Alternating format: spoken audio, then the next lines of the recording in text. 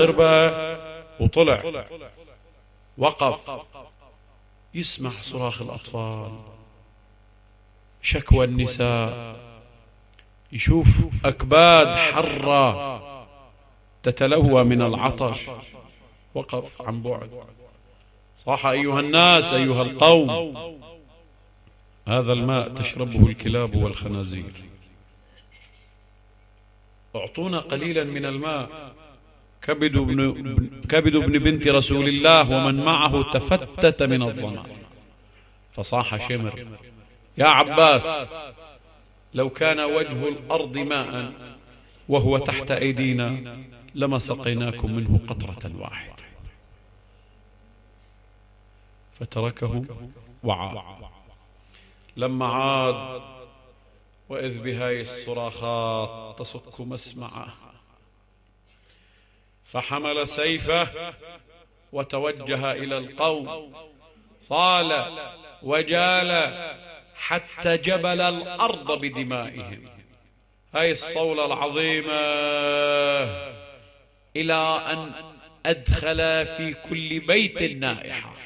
نعم العباس والحسين أدخلا في كل بيت من بيوت الكوفة نائحة.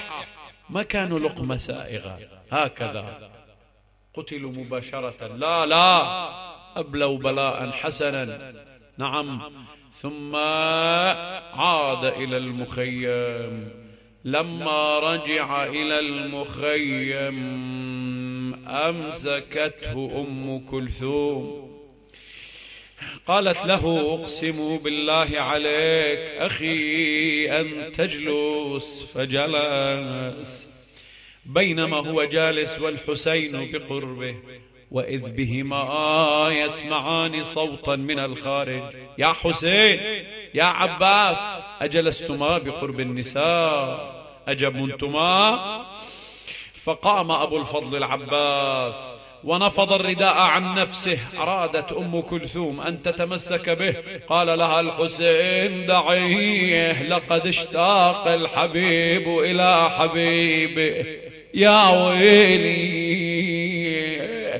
لما لما توجه نحو القوم مسلطا سيفه يضرب في أوساطهم إلى أن وصل إلى المشرعة إلى النهر. رأى جحف الجيش جيش يسد المشرعة رد القوم عن المشرعة أكثر من مرة.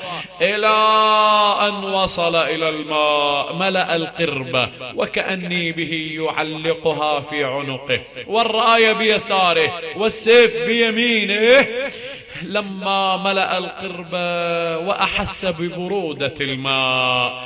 تحسس ذاك الماء لامس يده بالماء غرف غرفة لا ليشرب بل ليري الكون والملائكة أن الماء هو ملك يدي ولم أشرب. وخاصة أمير المؤمنين يقولون ليلة شهادته أمير المؤمنين. دنا من العباس قال عباس ابنه مني دنا منه قال بني يوم العاشر ما تشرب مي وأخوك الحسين عطشان.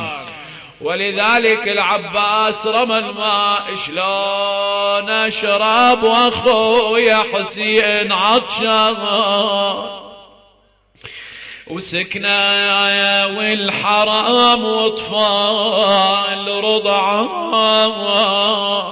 والله وظن قلب العليل التهب نيران رمى الماي من كفه وتحسر عاد نحو المخيم يحمل الماء وهمه أن يوصل الماء. وعد سكينة وعد فلانة فلانة الكل ينتظر العباس وهو جاي حامل الماي فصاح ابن سعد عليه اللعنة. اقطعوا على العباس بن علي طريقه فلو أوصل الماء للحسين لأباد جمعكم. ما نريدهم يشربون مية أبدا.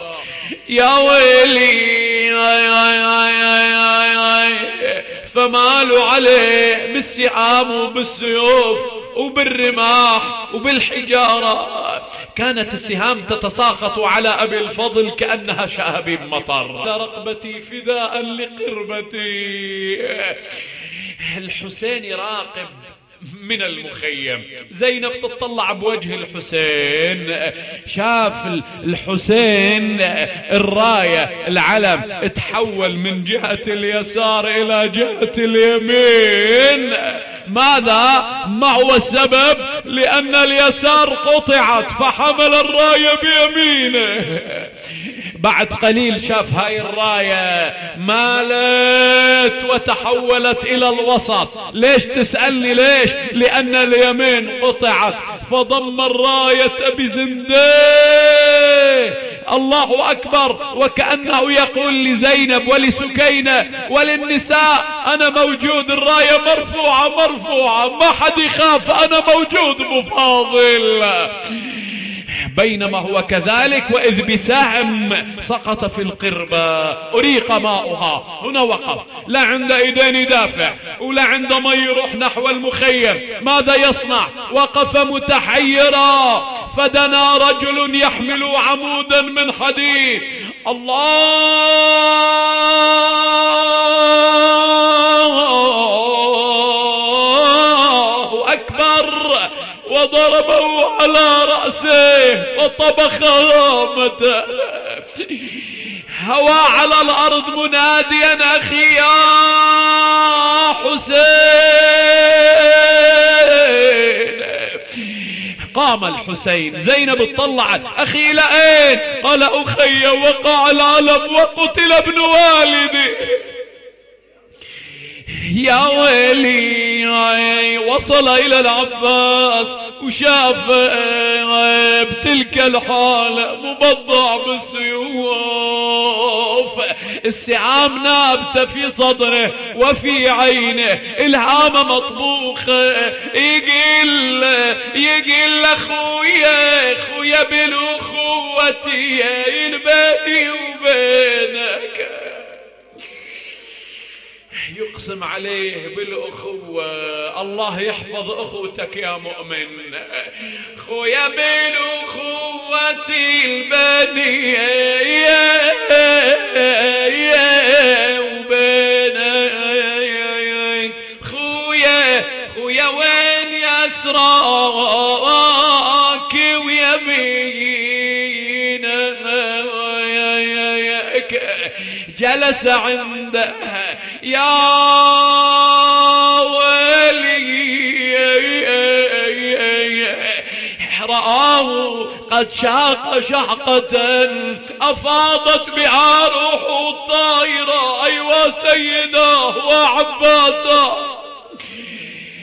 وقف الحسين محني الظهر. صاح ألان ألان ألان انكسر ظهري. الان وانقلت حيلتي.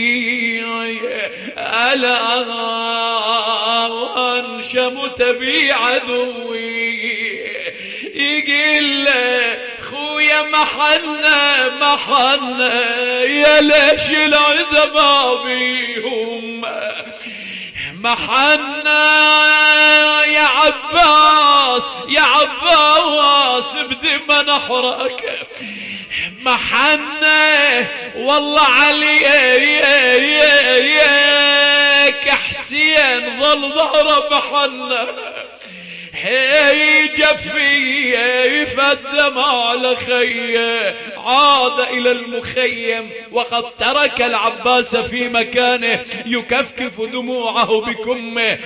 خرجت سكينة. أبا أيبا أبا أين عمي العباس؟ وعدني بما يا عمي.